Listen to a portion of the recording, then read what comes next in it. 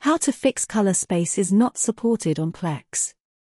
Are you trying to stream a movie or TV series on Plex and encountering the error message color space is not supported?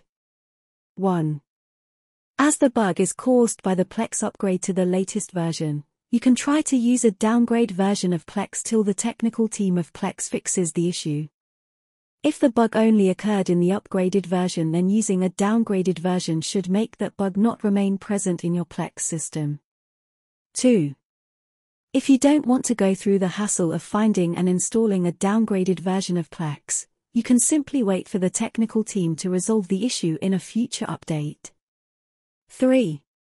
If you are using an Apple TV, you can try setting your TV type to HDR in the Plex app. This may resolve the error for you. 4. Uninstalling and reinstalling Plex may also resolve the color space is not supported error. Simply remove the app from your device and then install it again after a few minutes. 5.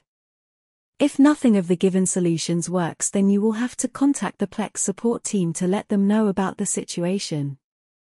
As it is a bug faced by many users, chances are that they have already started working on it. But you should still talk to them about your issue and provide them all the information that you know regarding it.